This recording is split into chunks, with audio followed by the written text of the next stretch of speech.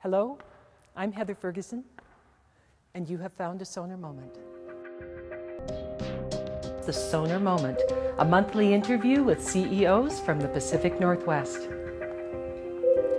We're here in the beautiful Alix Goolden Hall in Victoria, Canada, and today I'll be speaking with Gary Eisenstein, President, Falcon Software.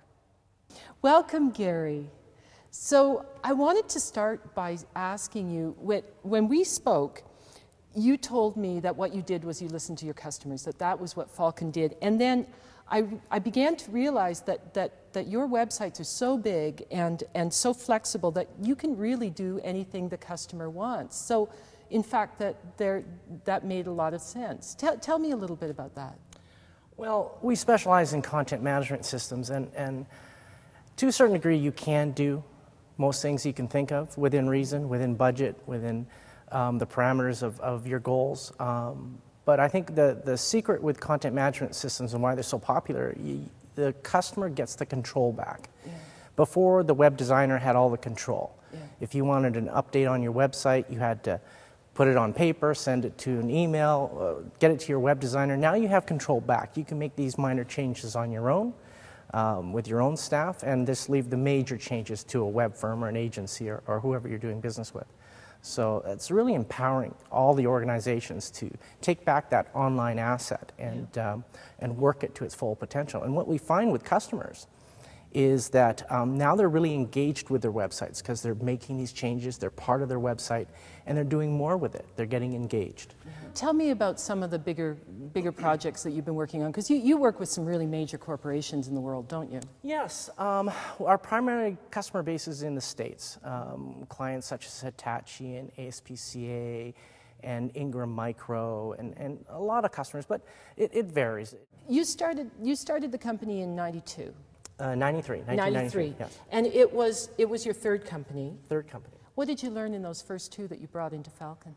Wow. Well, um, I'm a grade six graduate, so I don't have the academic background of, of, some of my peers in the industry. So I think what I learned through the first two businesses is how to run companies. Yeah. The first one was a, a company of passion, uh, something I enjoyed doing. But on the business end, I, I was, I was a failure.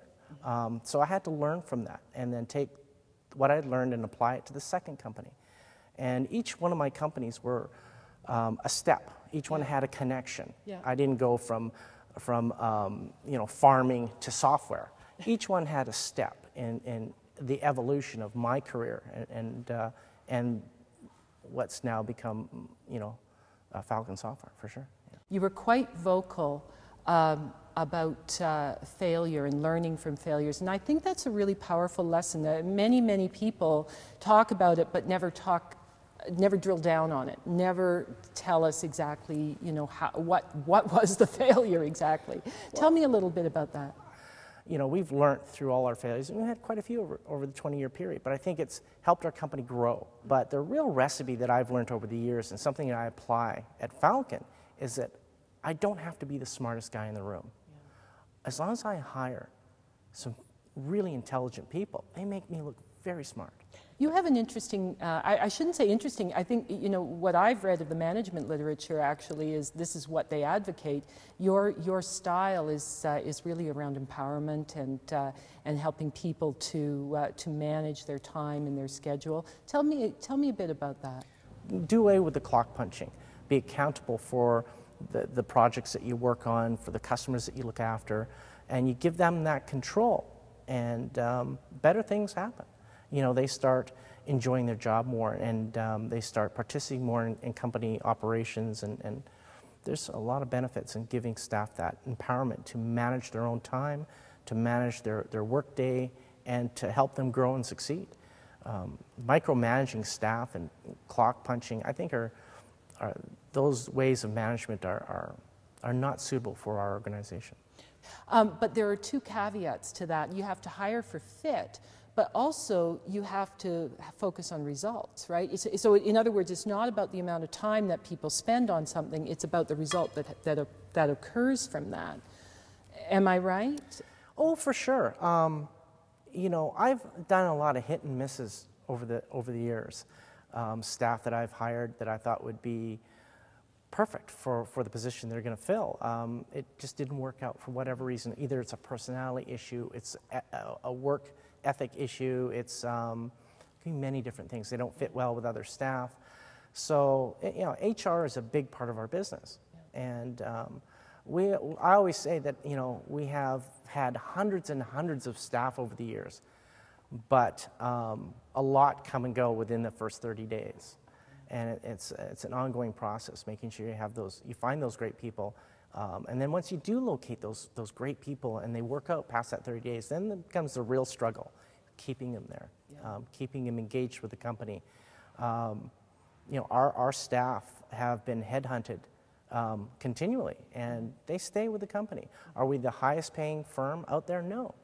Um, I think um, as biased as I might be on this, I think we're a gr- just a great place to work, and, and people enjoy coming to work, mm-hmm. and um, and that's that's a I can't imagine not enjoying your work atmosphere, something that you do nine to five, yeah. Monday to Friday, and if you don't enjoy it, um, that's a horrible thing. So what do you do? What what is it about Falcon that makes people enjoy it so much?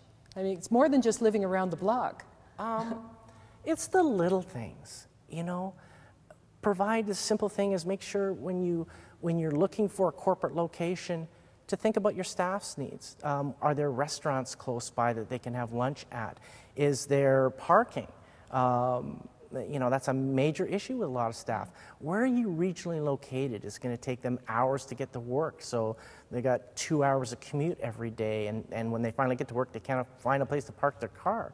Is there good transit systems so they can uh, get to work using those sort of uh, uh, transportation modes? Um, making sure that there's facilities at your office so if people want to ride their bike, um, they can enjoy that. And again, the simple things such as um, if staff have kids and it's a pro D day and they need to work from home or they need to take the day off, you make it so it's, it's, it's not a stressful thing in their work, having to come to their manager or the supervisor and, and ask for some time off, that they can do that. Where we're more interested in the results, we're more interested in, in uh, achieving the overall goal than what they can achieve sitting in a chair ty- typing in a computer for eight hours. So, how do you measure that then? How do you, how do you say, okay, this is the result, what is, what is the result that we're looking for? Can we agree on that? And, uh, and, and you, yes, you've achieved it, or no, you haven't? Well, for our business, we're, we're we operate with billable hours. Um, each project that we work on, um, staff have to achieve a certain amount of billable hours. So one staff member may have four hours to achieve in billable hours per day, and the other four hours non-billable. So, you know, they can that allows them that flexibility. Mm-hmm. And if they want to take a day off and then work full billable hours the next day, or manage it on a weekly basis, or even a monthly basis, you know, they have that. Their own schedule is is is towards the success of the project and yeah. and managing their own personal lives as well. And so, yeah, it's it's really important because yeah. I'm successful because I have great people working for me. Yeah, I've, I've heard that from other entrepreneurs as well. That that it's it's really about the it's really about the people. And when you think about an organization, it is it is manned, staffed by people. Um, it, of course, it makes sense that uh, that the daily interactions of people are going to carry the day. What's next for Falcon? What's next for Falcon? Well, you know, our clients are taking us in a new direction as we speak, yeah. and we're listening and we're, we're, we're doing our due diligence and we're making plans for the next shift. Um, and that's exciting. It's exciting for staff to see what's coming down. You know, um, we have the fortunate, um, our position allows us to be at the forefront of technology. We don't have to, you know, come up with any of this stuff, but we're yeah. at the forefront to, we, we can feel like we're a part of it. Yeah. You know, we've got a client, BGC3 in Seattle, and that company is run by Bill Gates. Mm-hmm. And they're doing some wonderful things in the educational sector and stuff that is just exciting to be a part of. And, um, you know, we, we take our lessons from that. We go, wow, look what's going on. How can we apply that to all our other customers? You know, yeah. and it's quite exciting. Gary, thank you so much for coming. We really, really appreciate it.